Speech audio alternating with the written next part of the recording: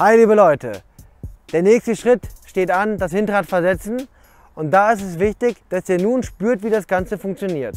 Bevor ihr das übt, möchte ich euch noch einmal das Prinzip zeigen, nachdem diese Technik funktioniert. Das Prinzip heißt nämlich, das Hinterrad folgt dem Vorderrad. Hier seht ihr das gut mit dem Fahrrad.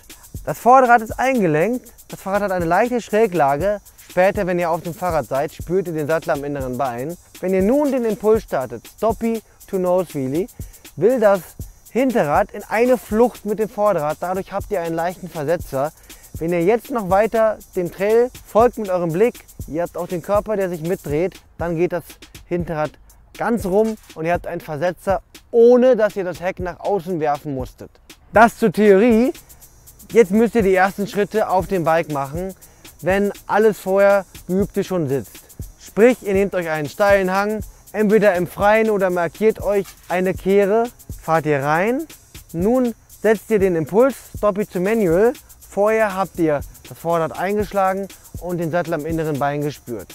Wie von alleine kommt das Hinterrad dann mit und versetzt sich.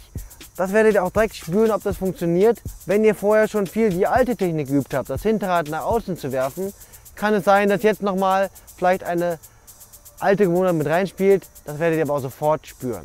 Es gilt wieder das Prinzip Schritt für Schritt. Also macht erstmal kleine Versetzer mit dieser Methode, bevor ihr sagt, ich will direkt ganz rum. Dann bekommt ihr ein Gespür dafür und könnt euch langsam steigern, sodass das Versetzen immer mehr wird. Ihr werdet merken, dann auch bitte immer schön die Landung abfedern aus Beinen und Armen, weil der Aufprall spürbar wird.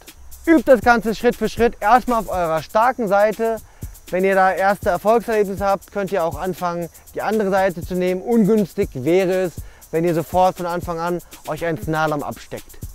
Nun habt ihr gemerkt, die Puzzlestücke setzen sich zusammen, das Hinterradversetzen klappt, spürbar, macht dann zum Beispiel mal mehrere kleine Versetzer in einer Kehre und dann geht es darum, das Ganze im Gelände anzuwenden. Das machen wir in der nächsten Lektion.